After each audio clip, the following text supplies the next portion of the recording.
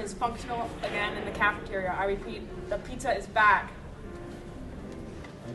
Wait, what's that? We have breaking news.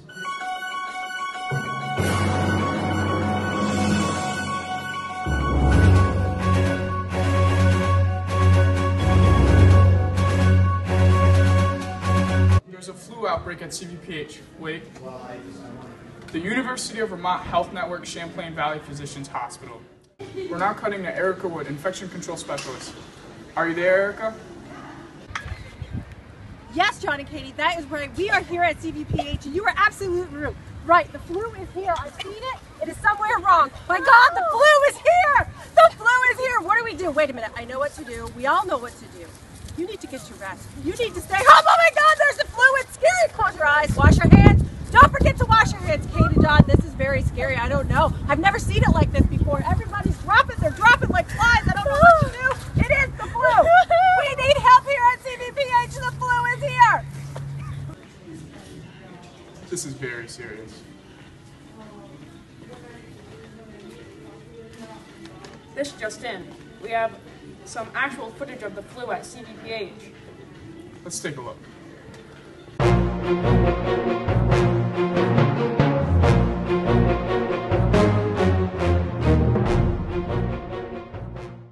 Put my hands